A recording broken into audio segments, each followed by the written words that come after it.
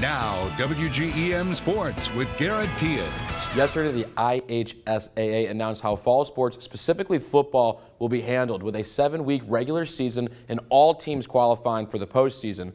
During the seven-week season, teams will have the option of scheduling five, six, or seven games within those given weeks. Week one and two will be optional game dates. Opponents' location and participation may be determined by the schools with 11-player football teams. With all teams qualifying for postseason, brackets will consist of six rounds for each class. The IHSAA will determine postseason pairings with geography, quality, and team availability as primary considerations. With practices set to start on August 10th and competition on August 27th, Central Lee Athletic Director Jerry Ireland explained how he's handling the upcoming season. Just got to uh, be prepared and any other equipment, that essential equipment that we might need, like for football, you know, face shields uh, on the football helmets, things like that. So I'm just trying to prepare just like all the other ADs. With Iowa Missouri high school sports set to start on time, Illinois high school teams are still waiting to hear a decision as players and coaches want to know what this upcoming season will look like and if there will be one. Yesterday, the IHSA was set to meet with State Board of Education and the Department of Public Health. Craig Anderson, the IHSA executive director, said he does hope to announce some outcomes Wednesday after the IHSA board meeting. In Macomb, Coach Tony Weston is looking to get his Bomber team back on the right track. After going 0-9 last season, the Bombers look to turn the page as they will visit West Hancock for their first game next month on the 28th. Coach Weston explains what his team's doing to prepare for the season under the current rules. Honestly, we're, we're really all about controlling what we can control.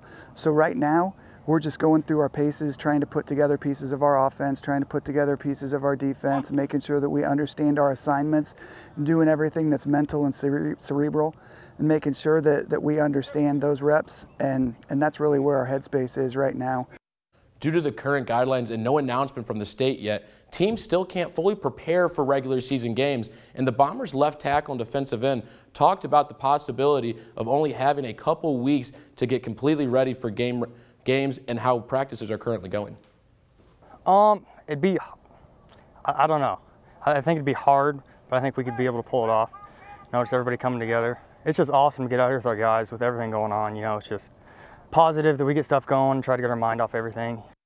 It was day one for the men and women's city golf tournament. The big two-day event, two event is being played at Westview Golf Course as golfers from all over the area look to take home first place.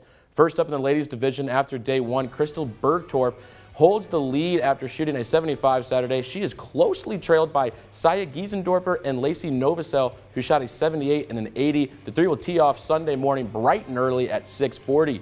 In the men's division, Quincy Notre Dame and soon to be Illinois State Redbird Alex McCullough is at the top of the leaderboard, but he is sharing first place with Ryan Schwanke as they both shot a 67 on the first day. However, they do not have a lot of room to breathe because Adam Pfeiffer and Blaze Haxel are both one stroke behind the two leaders. The four golfers will tee off together tomorrow at 1030.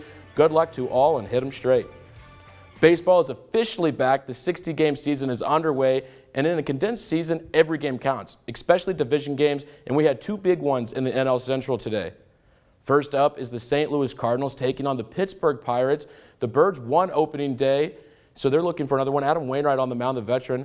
Bottom of the first, all tied up at zero, but with nobody on and two outs. Paul Goldschmidt decides to change that. He gets a hold of this one. He sends it deep. It goes off the big Macland sign. And just like that, one swing, Goldschmidt gets his first run of the home run of the season, giving the Birds the 1-0 lead. Bottom of the fourth, now all tied up at one, both with runners on the corners for Dexter Fowler, and Fowler hits a line drive up the middle. It will drop in front of the center fielder. DeJong scores easily from third, and Fowler gives the Birds the early 2-1 lead. Top six, one out, and Adam Wainwright had the old Uncle Charlie working today. He gets Josh Pelz to swing at the curveball in the dirt. Wainwright would go six innings, giving up only one run, three hits, and he fanned five in his season debut as the Birds would go on to win the game by the score of 9 to 1. They are now 2 0. The Chicago Cubs look for back-to-back -back wins themselves after beating the Brewers Friday. The two teams were back at it Saturday in a day game. Yu Darvish on the bump for the Cubs. Top four runners on second and third for Ben Gamel, and he puts a charge into this one. He hits it in the right center field gap. It rolls its way to the wall, and both runners would score. Meanwhile, Gamel, who's hustling, digs for third, and he slides in safely. Gamel's two RBI triple gives the Brewers the 3-1 lead. 4-1 now, bottom of the fifth, and a runner on for Kyle Schwarber, and there it goes. It's deep and over the wall. Schwarber crushes the fastball over the right center field fence, his first of the season, and he makes it a 4-3 ball game. However, the Cubs wouldn't cross home the rest of the game, and after a Christian Yelich home runs, the Brewers would extend their lead, and the Cubs would fall to Milwaukee by the score of 8 to 3. The same two clubs will be in action Sunday afternoon at Wrigley. First pitch is set for 1:20 p.m. Be sure to listen to the game on WGEM Sports Radio, ESPN 1440 98.9. The Cardinals will host the Pirates again Sunday. First pitch at Busch is set for 1:15 p.m. Listen to the game live on News Talk 105 WGEM.